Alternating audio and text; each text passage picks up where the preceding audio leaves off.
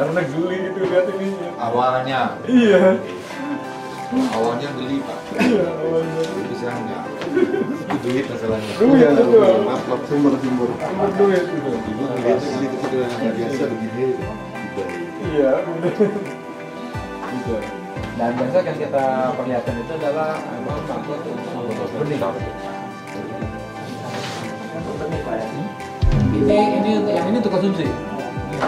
Ini ini besar. Kalau yang kita perlihatkan besok itu eh, itu untuk benih.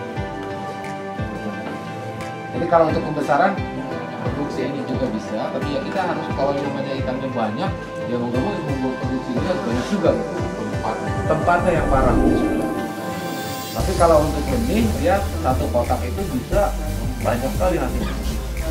Dan untuk percepatan pertumbuhannya juga naik. Untuk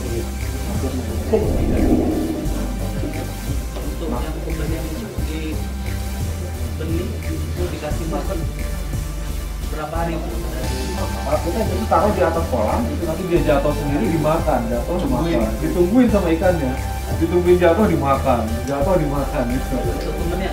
Iya untuk temennya. Jadi kita kita bikin gitu, kemudian setelah jadi kita taruh di atas kolam gitu dengan media apa gitu supaya dia keluar gitu dari dari dari wadah itu. Kan di bawah. Nah, nunggu di bawah. minimal eh, larvanya berapa hari itu Pak? 20 hari atau Itu 20 hari minimal itu udah udah ada. Nanti kita bisa lihat besok ini apa hasilnya. Uh, bagus yang untuk ini.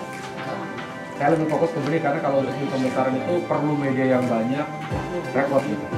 Karena nggak cukup satu butir satu ekor maggot itu untuk satu ekor gitu.